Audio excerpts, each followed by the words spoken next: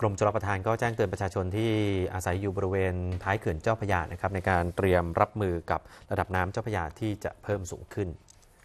หลังจากมีฝนตกตอนบนของประเทศนะครับ ก็ทำให้มีน้ำไหล แล้วก็ไหลหลากนะครับ ผ่านบริเวณเขื่อนเจ้าพระยาปริมาณมากโดยปริมาณน้ำที่ไหลผ่านเขื่อนเจ้าพระยา 708 ลูกบาศก์เมตรต่อวินาที และคาดว่าจะมีแนวโน้มเพิ่มสูงขึ้นเป็น 900 ลูกบาศก์เมตรต่อวินาทีทำให้แม่น้ำเจ้าพระยาสูงขึ้นประมาณ 80 ถึง 120 เซนติเมตร ตั้งแต่บริเวณท้ายเขื่อนเจ้าพระยาอำเภอสัพยาจังหวัดชัยนาทจนถึงบริเวณตำบลบางหลวงโดดอำเภอบางบาน และตำบลบ้านกระทุ่ม ตำบลหัวเวียง อำเภอเสนา จังหวัดพระนครศรีอยุธยา